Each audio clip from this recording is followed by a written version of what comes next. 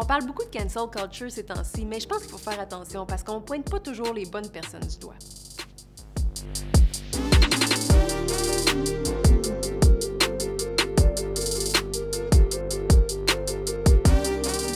Cancel culture, boycott d'une personne de la sphère publique après qu'elle ait commis un acte jugé reprochable par une partie de la population.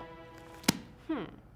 Par exemple, tu as peut-être entendu parler de personnalités publiques qui ont perdu des contrats après avoir été euh, accusées d'agression sexuelle ou euh, de professeurs d'université qui ont été suspendus après avoir dit le fameux mot en haine. Souvent, on va accuser les personnes woke ou les militants pour la justice sociale de vouloir annuler les personnes avec lesquelles ils sont pas confortables. Mais ces gens-là, les woke, ils ont rarement le pouvoir de décider qui a sa place dans l'espace public. Par exemple, moi, je peux bien accuser la reine d'Angleterre d'être raciste sur TikTok, mais ça va pas changer grand-chose.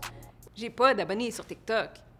C'est important de distinguer les personnes qui dénoncent ou qui critiquent d'autres personnes dans l'espace public de ceux qui ont le pouvoir de les canceller. Par exemple, la chanteuse Safia Nolin a accusé l'animatrice Marie-Pierre Morin d'avoir eu des comportements agressants et racistes envers elle. Ça a généré beaucoup de commentaires sur les réseaux sociaux, puis en conséquence de ça, ben, il y a des gens qui ont enlevé des contrats à Marie-Pierre Morin. Mais c'est pas Safia qui avait le pouvoir de retirer des contrats à Marie-Pierre Morin.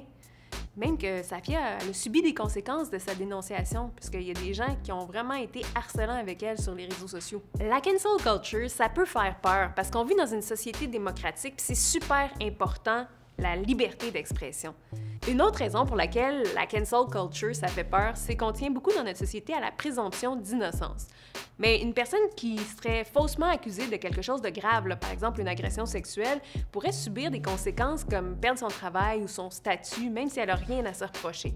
Par contre, c'est super important pour moi de préciser que même si les agressions sexuelles sont parmi les crimes les plus difficiles à prouver, il reste qu'une minime, infime, miniature, minuscule, encore plus petite que ce que tu penses, proportion des cas, sont des fausses accusations. On entend beaucoup parler de cancel culture ces temps-ci, mais c'est important de ne pas crier au loup non plus. Critiquer quelqu'un ou le dénoncer, ça ne veut pas nécessairement dire qu'on veut le voir disparaître de l'espace public. La liberté d'expression, c'est pour tout le monde. Tout le monde a le droit de s'exprimer, mais tout le monde a le droit de répliquer aussi. Si tu te sens indigné, scandalisé, offensé par une situation, que tu vis une injustice ou que tu es témoin d'une injustice, je t'invite à dénoncer dans le respect.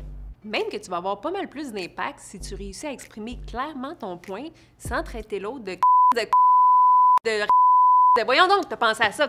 Ça, c'est pas fin. Fais pas ça.